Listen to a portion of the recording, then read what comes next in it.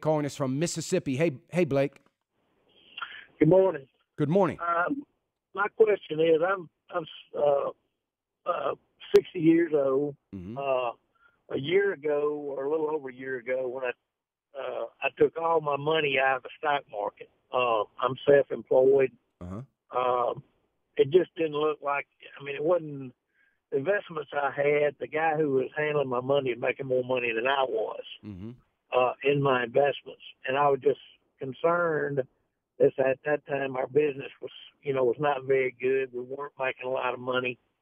I I took it out with the thoughts that I might have to uh, start taking money out of my retirement fund, fund to supplement my income. Mm-hmm. Uh, of course, since that time, uh, my business has turned around. I'm doing better, making money, but I, I have this money in a bank uh, that uh, I'm drawing, you know, drawing, uh, I don't know, uh, 0.75 or 2% interest on, Mm-hmm. uh, which is, from my understanding, not bad, but of course that's not good at all Right. uh, but in comparison to other banks. But what I'm trying to do is to try to figure out what I need to do with the money that I have Mm. uh, in this bank. I mean, I don't intend to retire because I love what I do and I'm in good health. And you know, as, as long as I can work, I intend to work. So I mean, it, as, I mean, the the money that I would use would be just in a you know case of emergency or something like that. But at at the same time, I don't. My opinion is I don't want to put it into somewhere where I have a good chance of losing it because I don't Sure. want to do that. Right. Well, let me ask you this, Blake: Is um, i- this money you, you mentioned that you, you you took it out of the market, you put it in the bank? Was it an IRA money or qua- is it is it? SEP.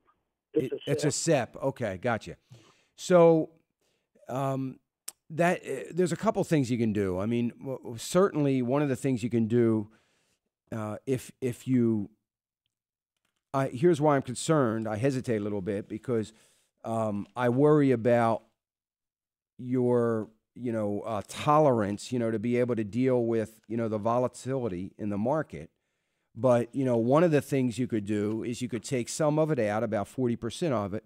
You could you could do a couple things. You could open an IRA account now. So wherever you move it, you got to move it within another IRA account. You you know, or a SEP account. You can't you can't just uh, you know take it out. And I'm sure you know that, or you you can, but you don't want to do that because you'd have to pay tax and penalty.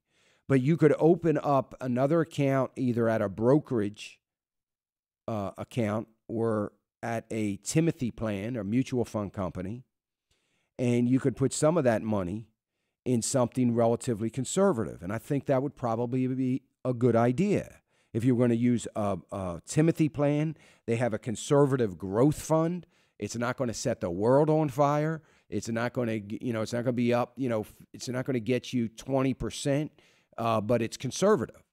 Conservative, in other words, it's not going to be taking a lot of risk. So, therefore, there's not going to be a huge return, but it's going to likely, over the long run, not any given year, but when you average it out after, you know, eight, ten years, it's it's going to do a lot better than it's likely to do in a money market account right now. So that would be one option.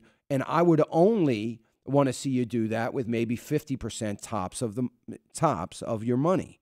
The other thing you could do is try to put it into a brokerage account that you do yourself and you put it into some utility stocks uh, or some uh, energy companies that are giving you pretty decent dividend that are going to be a little bit more stable than some other stocks out there, big company stocks. And uh, maybe when the bond market settles down a couple years, you can get a couple bonds. And you know, I'm happy to help you with that and give you some some more detail on it if that's something you wanted to do. But in any event, don't do it with more than 50%. Because even though you're in good health right now, Blake, uh, you love what you're doing and you're you're planning on working, which I think is great. You know, you you know, things change. Things could change. And I, I wouldn't want something to change where you're going to have a need for this money and have all of it tied up into a market because the day you need it may be the day the market is down and you're going to be forced to withdraw it. So you got to maintain some cash. Uh, and I would like to see at least 50% of it staying right where it is. Well, as we as it stands now, uh, what I'm trying to do is is primarily not for me; it's for my wife. Okay. Uh, as long as I'm able to work, we'll have an income. She's a she's a housewife. Uh, our home is paid for. We uh, we have no debt. We have no credit cards. Uh, you know, we don't buy it if we don't need it, and if we can't pay for it, we generally don't buy what we're trying. You know, we just figure we don't need it. Right. So, uh, so I mean, we we uh, that's the situation that I'm in right now, and I what I I mean, I know that uh, I don't want to miss the boat on uh, on uh, putting the money somewhere, you know, where I could draw a better interest rate. But I've been through both downturns and lost a good bit of money in those downturns, and then uh, you know, and actually I had to build it back myself with me putting money in there. Yeah. Because the market really didn't build it back. Right. Well, here's what I want you to put my money in there. Yeah, here's And, uh, here's what I want you to think about, Blake. I want you to think about not missing the boat if the market goes up.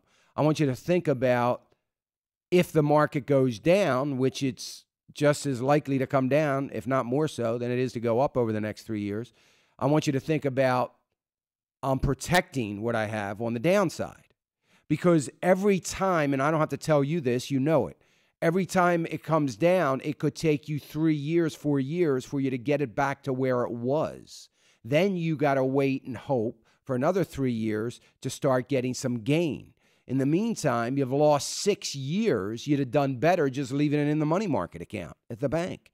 So I want you to think about preservation. I want you to think that, yeah, I may miss the upturn, I may miss that uptick. That's okay, though, because my goal is to preserve uh, the majority of what I have, or at least half of what I have. So um, I, I, I say that's fine if you've got an eight eight year to 10 year window to take 50% of it and do something that has a little bit more risk to it so that you can take advantage of the up, uptick.